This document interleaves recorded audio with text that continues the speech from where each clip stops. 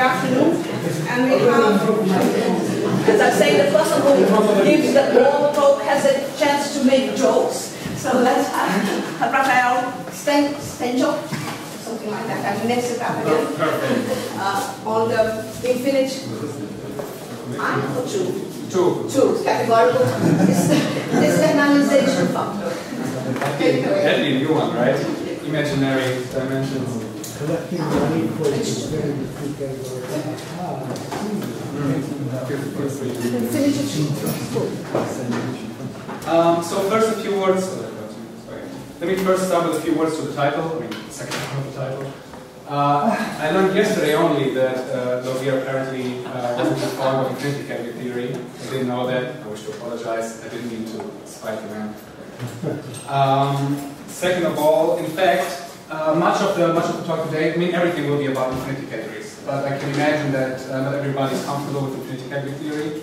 And in fact, all of what I will say today, uh, whenever I say infinity category, the word can be replaced by ordinary category. If you are flexible enough in your head to replace certain equivalences by strict identities and certain groupoids by sets, you have to do that in your head then. Um, But second, then infinity 2 becomes 2 category. Yes. Yeah, which is still a higher category, so. Indeed. Uh, second of all, um, much of the material I want to talk about today uh, is still to be written up, so um, it still may be due to some possible change in the near future. Uh, I'm very sure that uh, the whole picture works out very well, um, but uh, one detail or the other, the other might change. So if something feels clunky to you, it may be possible that still has to be tweaked, so that we know uh, if that is the case. Now let me start, before I talk about externalization function, what I, what I mean by that, let me start with a few um, recollections about just the plain old Yoneda embedding.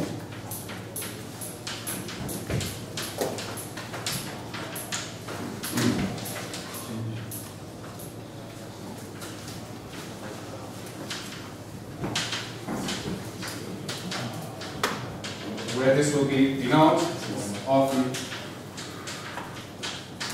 to be uh, the pre-sheaf category over small category B, or in this case, the uh, pre-sheaf infinity category of controlling functions into spaces, into the infinity category spaces over small infinity category B. Can you read this size-wise? Is?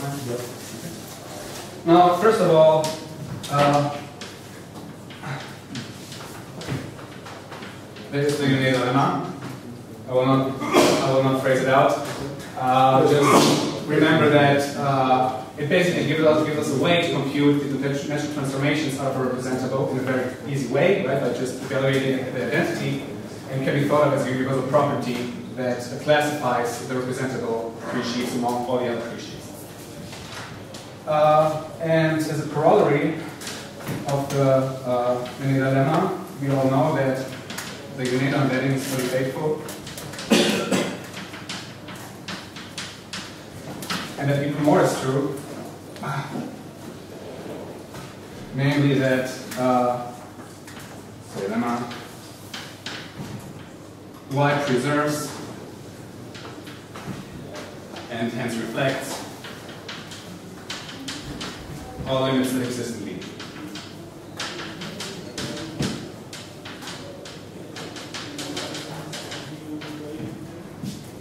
Uh,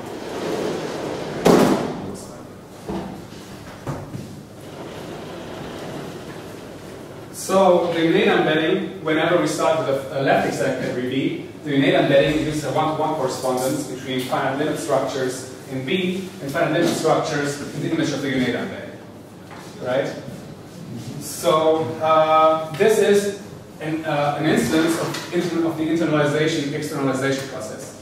Right? We can, if we have a finite limit structure in the image, which is a finite limit structure of pre-sheaves, which we can think of B-indexed sets, right? And B-index set theory is something very concrete. Then we can internalize that finite limit structure in B, where we have a synthetic logic, where things can be very abstract uh, and formal, right? And vice versa, if we have a finite limit structure in the internal logic of B, then we can externalize it along the Yoneda embedding to obtain something about B-index sets. Or in the infinity categorical case, about B-index spaces. Um, indeed, uh, I mean, many examples, right, which we use in which we use in, the, in practice is, well, in order to show that a certain map in B has a retract or a section, it suffices to, it suffices to check that for the representable uh, presheaf associated to it. The same holds for uh, isomorphisms, right? Because, of course, Yoneda embedding is conservative.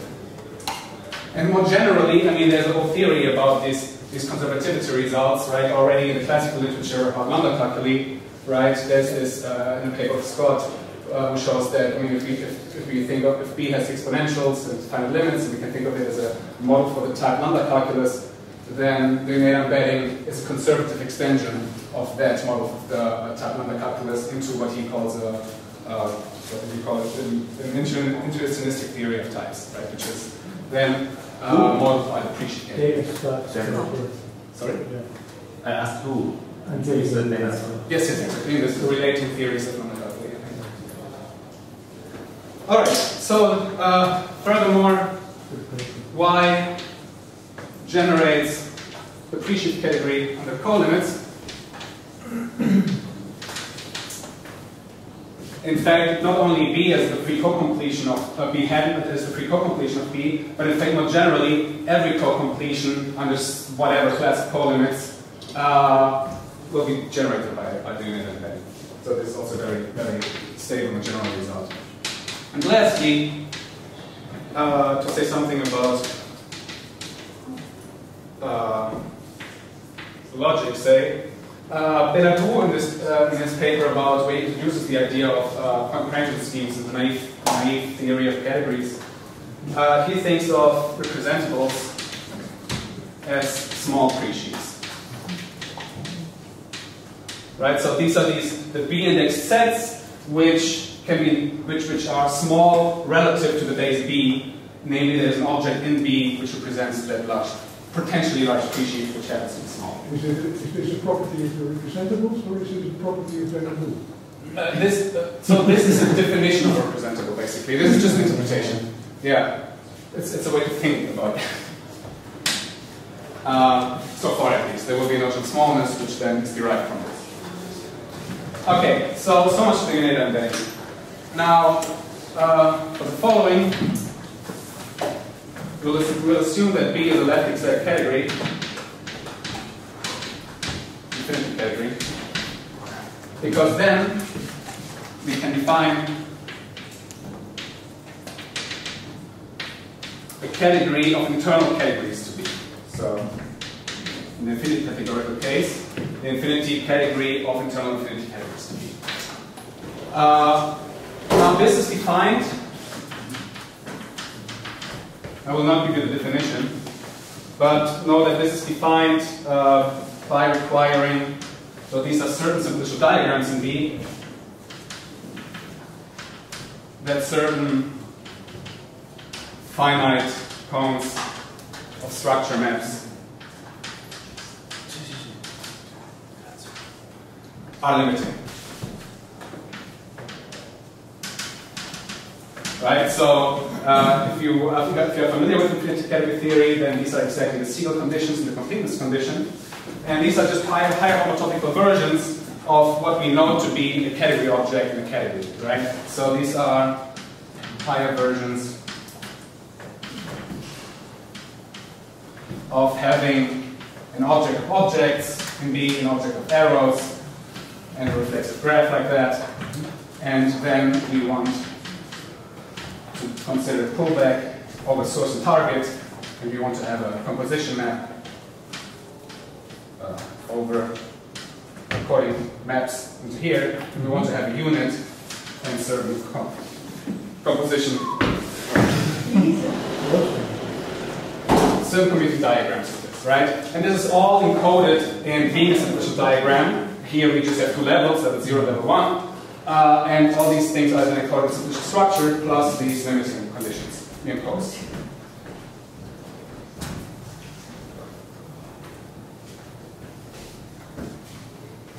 So it follows quite immediately that whenever B is left exact, this diagram, diagram category is left exact, because these are all just limiting conditions, and limits commute with each other, this will be left exact again. Right, so fairly immediate is that that B inherits all finite limits.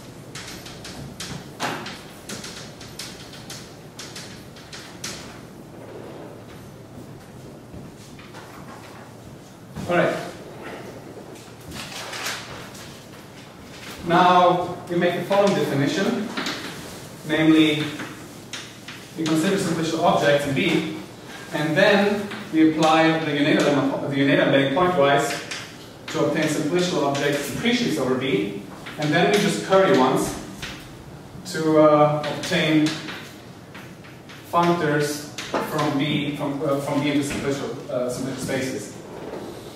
And now in here we have our internal categories, and in here we have our functors from B into internal categories to spaces. And because the data preserves finite limits, we obtain a functor uh, factoring this thing.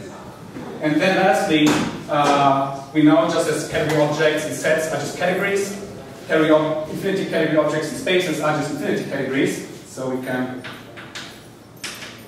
uh, push forward along equivalence infinity categories.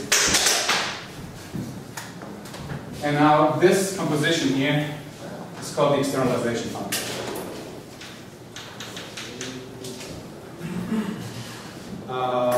Right. So uh, this is a lot of drawing for something fairly simple, as an idea at least. Technically, to write it down, at least in the infinity categorical case, can be a bit uh, messy. But what we really do is we start with an infinity category, uh, an internal infinity category C here, which is a certain collection, well, a simplicial diagram, and so on. Jesus again.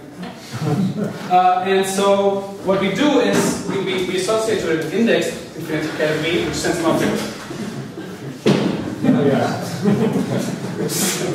which sends an object B here and uh, to the category whose objects are the maps into C0, whose arrows are the, are the maps into C1, whose two cells are this, and these, uh, the fact that these things here commute and that this is an internal infinity category will give us that this is piecewise or pointwise infinity category. Alright. We'll keep this for a bit.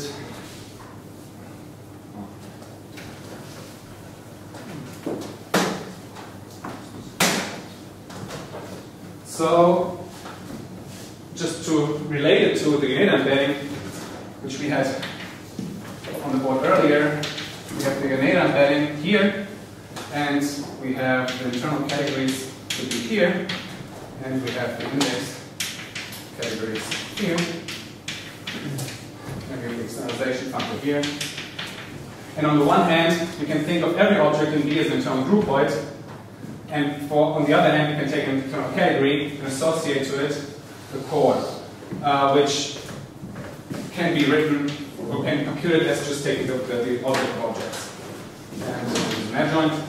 And here, we can do the same thing. Every presheaf is, of course, an index uh, category. And also here, we can go the other way around by just push, uh, pushing forward with the core function spacing. And same thing here. And this diagram moves both directions, and this is a pullback effect.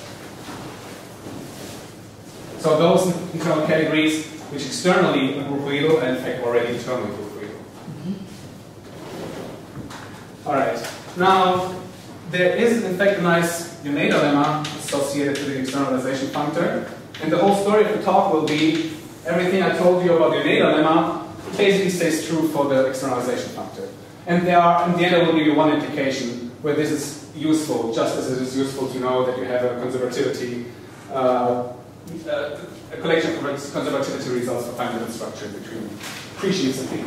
So the, I, I, just call this a single Yoneda lemma because the Yoneda lemma for single objects.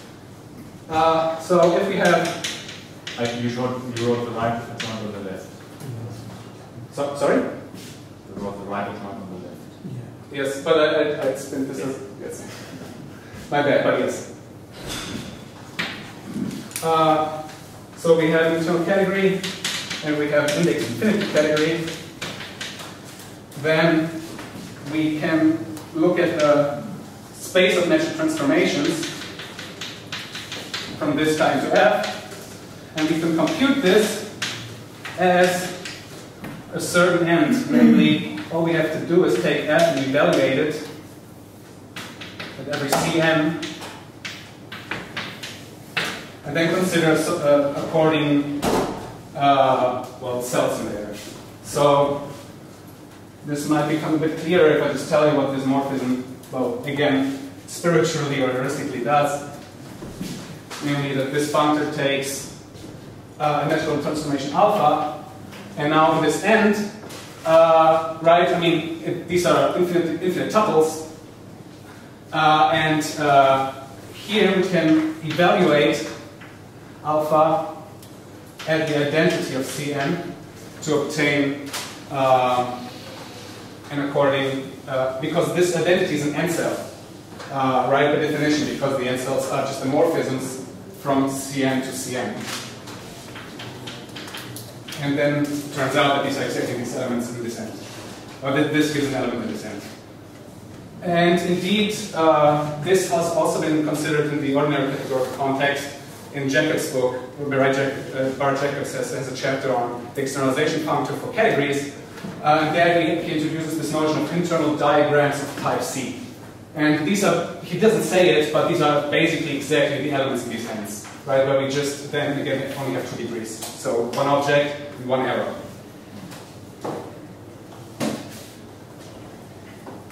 And the proof is basically a tautology, just the proof of the Yoneda lemma in the ordinary categorical context is. It's just currying and applying the lemma pointwise.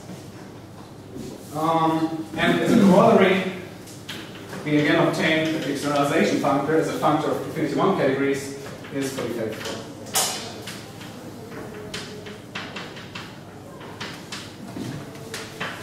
Um, I can oh, just pretend to give a proof. So you can think of this is the space of transformations between those two. And then you apply the lemma.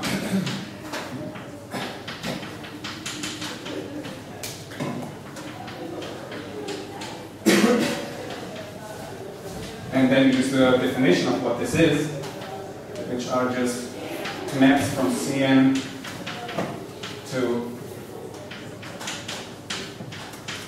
D dot and then you do a little uh, walk around and see that this is the end just over the onsets here, Cn to Dn, and this is just uh, a notation for the, set of transformations from C to D. As simplicial diagrams indeed. And then you use that, the, that the category of internal categories is fully faithful in here, so these are exactly the maps of internal categories from C to D.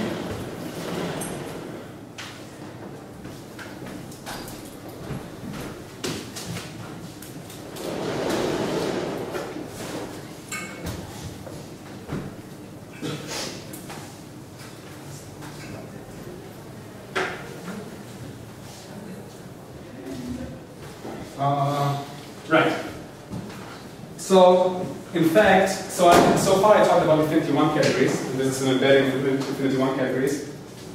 But the uh, category of indexed infinity categories uh, is naturally infinity 2 category, right? Just as, because the category of infinity, ca the infinity, infinity categories is naturally infinity 2 category, just by considering natural transformations between functors, right?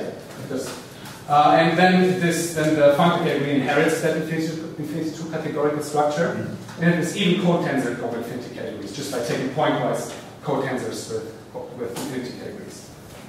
And so we can, in this generality, we can just perform a trick by saying, well, this here then inherits an infinity 2 categorical structure just by embedding it here and then taking the Hom quasi categories of the image. Right? It's kind of a cheap trick in this generality, but uh, in more explicit context, this actually starts to have meaning. So there is the lemma, which states that the externalization functor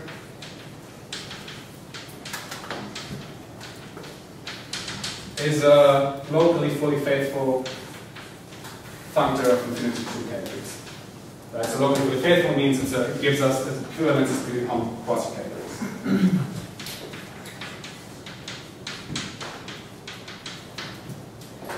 But in fact more is true. Uh, namely,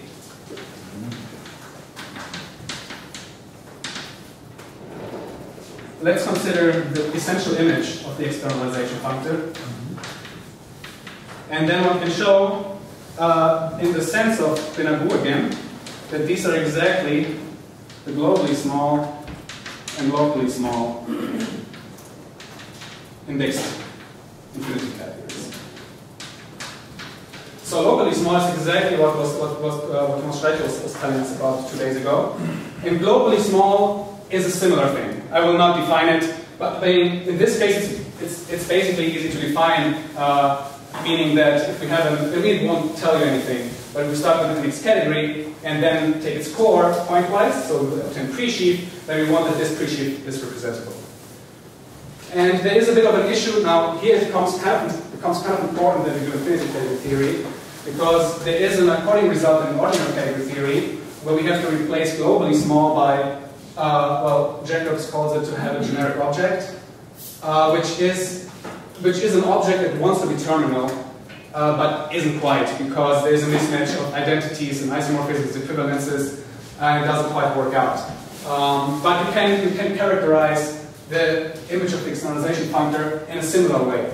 The nice thing here, though, is that these two guys fit into a very general scheme of comprehension schemes that was uh, I think, defined by Johnstone for ordinary categories, and which translates very well to infinity categories. And in this general scheme, it turns out that these, again, are exactly the indexed infinity categories. Uh, where am I? Uh, oh, here I said uh, infinity categories with G comprehension for all monomorphisms between finite simplicial sets or finite infinity categories.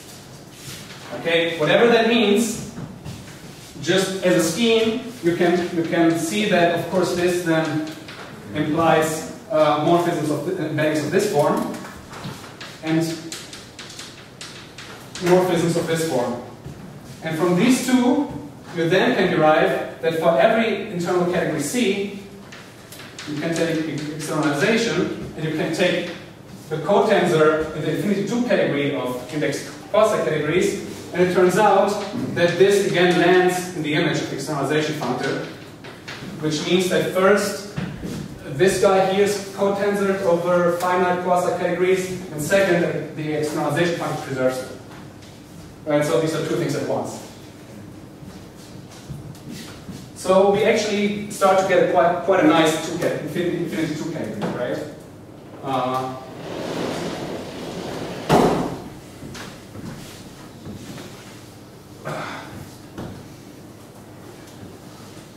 So let me say the, let me say in theorem and then give you some further nice fun facts and then give you an implication and then we're done. So externalization functor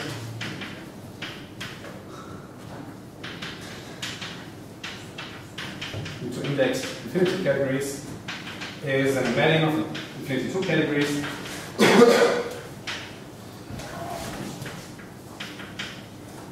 Uh, which preserves limits. This case, all finite limits exist here, and so it preserves and reflects those finite limits. And second, it preserves and reflects, just reflects, uh, it preserves and reflects uh, cotensors with finite infinity categories. Not reflects them. Uh, and in the in Jacob's book, he also shows that in the ordinary categorical case, you can say the same thing about exponentials. So if b is Cartesian closed, this will be Cartesian closed, and this function preserves and reflects exponentials. I didn't do this yet. I think I see no reason why it would be wrong. I just didn't look at it yet. So it's possible that you can extend this result accordingly. And so it turns out that you can, uh, just as we were able to uh, preserve, uh, well, translate and reflect uh, finite limit constructions between B and the pre-sheaves over B, here we can uh, translate and uh, reflect two categorical notions between this infinity two category and this infinity two category.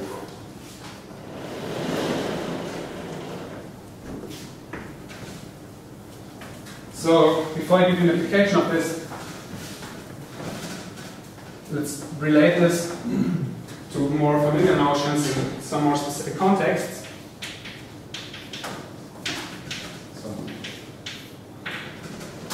First, is complete, so it has all small limits, then an indexed infinity category is uh, well in the image of the externalization functor, let's call it whatever, Siegel, I don't uh, is in the image of X. So it's small and locally small. If and only if this guy here has a left adjoint. Okay? And the proof isn't so so one direction works, for instance, by if it uh, if if this thing is representable by some x, then we can use a Kan extension argument to construct such an adjoint. In the other direction, if we know that it has an adjoint, so we can look at the universal fibration. It turns out that this is representable, and then we can take that object here, this category, and just push it forward with an adjoint. And that gives us an internal category here, which represents this guy in a nutshell. This also this compares very well, for instance, with a groupoidal case, right? So groupoidal this says that if we have a pre-sheaf, then it's representable if only with a left adjoint. It's very classical result, right? Uh, and if B is presentable, even, then having a, a left adjoint just means that it preserves limits, right? And so we, we, we, we recover this, uh, this characterization of internal categories by a descent condition, right? So if B is presentable, then this index category uh, preserves all small limits if and only if it comes from an internal, internal category. Should it be optically complete? Don't you want B to be co-complete? Uh, I think I, I, I, couldn't tell you now, but okay. I, when I thought about it, I'm pretty sure I figured okay. it out.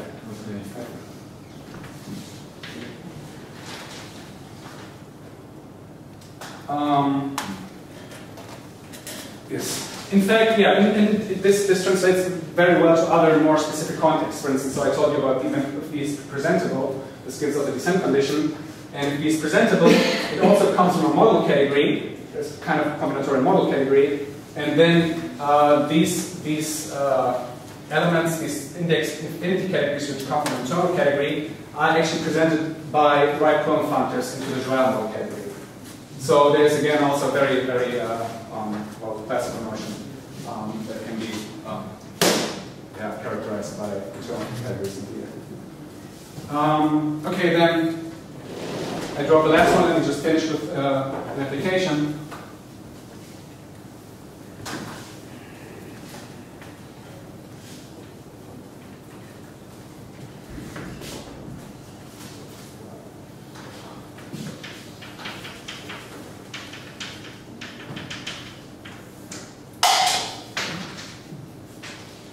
Namely, uh, if B is a topos, let's say for now, just an ordinary topos, then we can consider internal category objects, and we have this externalization event. So this is the classic construction that is in Jacob's uh, into index category separately. And here we have the category of internal frames, and then here we have the category of hyperlog frames, or index posets or index frames, in this case, right? And we have an, we have a factorization like this. And if P is a topos, here's an object, subobject classifier, which maps to the subobject functor over B, right? And so, because this is such a nice embedding of two categories, we obtain a one-to-one -one correspondence between idempotent Lex monads on the subobject classifier in the two category of categories and idempotent Lex monads on this subobject functor in the two category of the term of ranks. Basically, just by just by formal two category theory, right? And basic, basic by definition, these are exactly the Lawvere-Tierney topologies uh, in, on B, and these are exactly the closure operators over B, right? So uh, this this correspondence is completely formal; it doesn't really have to do anything with monomorphisms or subobjects or anything. This is just translation uh, between one one two category to the other. Now we can do the same thing in the infinity categorical case, almost. So if B is infinity topos, then we can again consider internal infinity categories in here, the externalization functor, mm-hmm. and we can consider index infinity categories. And now here, in the case of infinity topos, let me finish before you say something. There's an object classifier in here, and this object classifier goes to the full slice uh, uh, functor over B. And now we have we can we can play the same game, and what we obtain is on the one hand uh, a notion of idempotent. This now becomes a mouthful. Idempotent left exact accessible uh, compositional monads on this object classifier in this two category, infinite two category, and the same kind of monads on the slice in, uh, in this uh, category. And now these are, one can show that these are exactly um, the higher modalities in the sense of Anel, Wheeler, Mandurell, and Finster, right? But the uh, five reflective localizations in the sense of Wieck, Schubert, uh, Schubert. uh, so this, this, is a, this is a thing that we know to classify subtoposes. And now it makes sense to call these the higher Lawvere-Tierney operators. So this will be then a definition, which then one to one corresponds to these guys. Again, basic just a fundamental theory. Right? And now I lied to you here just to, to mention technical fact, right? The problem is there's a problem of size, and so we have to uh, stratify this somehow along sizes, and then what we work with here are not just single monads, but something I call polymorphic families of such monads, which just glue together well to give you a global one, and then restrict back to give you uh, such polymorphic families of monads, the classifiers which actually do exist. All right, thank you. Done, right? Thank you.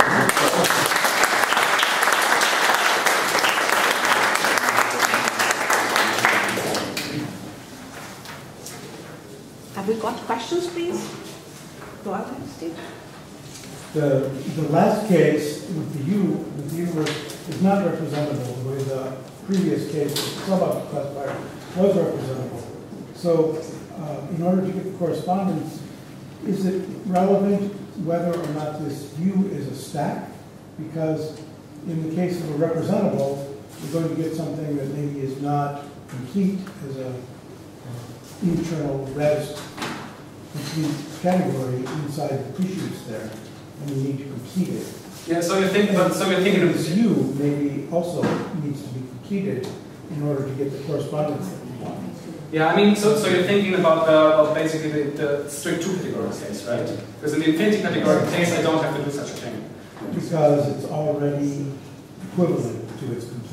Yeah, I mean, there is, uh, so, so there, I mean, the only reason this is not representable is because it's so large. Too big, yeah. But if you, if you restrict it to, to, a, to a, well, there are unbound many cardinals Yes. for which this guy is Yes. indeed representable by an internal category. It's not by an object in B, but by an internal category in B. Mhm. And this is this is exactly so. This is this is precisely representable uh, in the sense that it lies the image of externalization comes here. Mhm. So there you don't need to compute anything else. Uh, Mhm. Okay. Any more questions? Go. A minor technicality, you said locally fully faithful, shouldn't it just be fully faithful? yeah, I, I just took the I just took the notation again from Jacob's book to kind of have a reference which I can refer to quite consistently. And he No, but it's either a local equivalence or fully faithful, but, I mean, not locally fully faithful. yeah, that's that's literally the word he uses. The- He writes he writes locally fully faithful.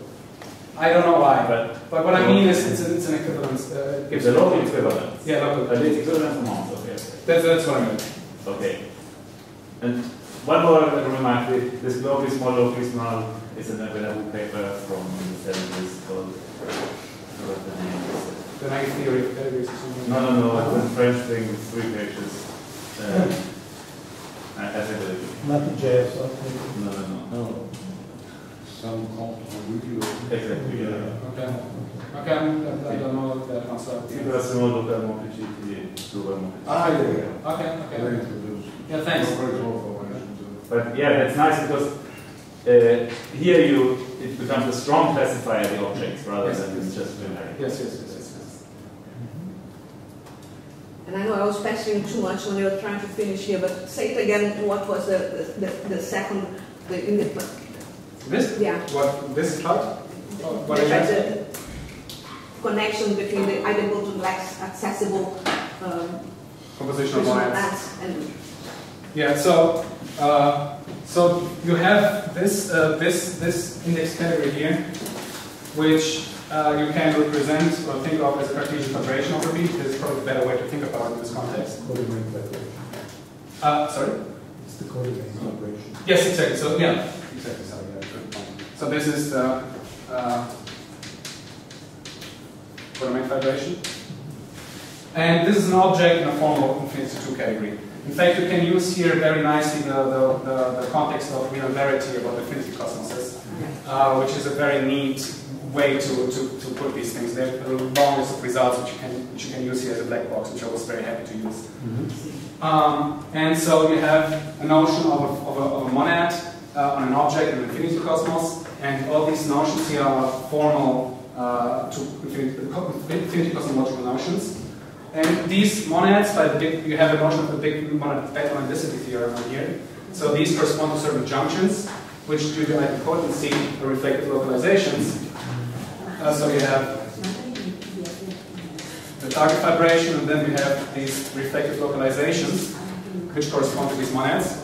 And these are exactly uh, those which correspond to subtoposes. So this is a finite subtopos uh, of B, uh, which again can be represented, for instance, by factorization systems in B due to the work of Anel Biedermann, and Finster, or yeah, directly these correspond then to you have a topos B, and then this is basically the finite version of the subtopos. no more questions? Thank you very much.